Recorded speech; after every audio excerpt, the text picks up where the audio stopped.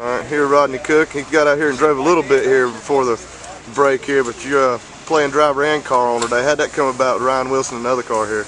Yeah, well, that's something happened pretty quick here. You know, me and Ryan got to talking early on in the week here, and uh, you know, he's he's run over here, you know, a whole lot off and on. So, uh, you know, I'd like to help him out and have a good run. You know, he's been up and down a little bit, so uh, me and him worked out a deal where we can get him over here and hopefully uh, pull out a win. You know, it'd be it'd be nice for me. You know, I know I'm driving in it, but at the same time, you know. Uh, I'm uh, supporting him 100%. So you know, my priority is him. So and then, uh, man, to go out and practice like he was, he got comfortable with the car right out of the box there. So he looked really good. Uh, 150 lap around this track is a long time, and uh, you know, you just got to have something up under you, you know, at the end. And uh, he feels real positive about the car right now. He feels real good about it. So uh, you know, hopefully the weekend turns out real good for him. Yeah, and you got and you got both cars here. How how are both cars? You didn't practice that much. Or yours pretty much normal like it is here? Yeah, it felt pretty good. You know, I went out there and run uh, seven, eight laps just in, and uh, it felt really good. You know, I don't need any practice around here. I just wanted to shake the car down. You know, and uh, felt real good. You know, it, we didn't really knock off no fast blistering times, and uh, but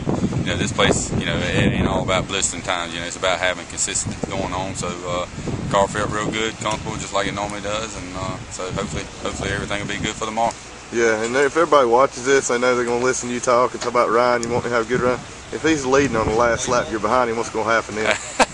uh, we'll have to wait and see, but it'd be nice to be in that situation there. And uh, you know, no matter what anybody would say, you know, it's one of them deals where you know I, I want to win and he wants to win too. You know, uh, yeah, it's all about racing. So uh, I just see where we're at, what kind of situation we'd be in. You know, for uh, before I'd really say what would happen.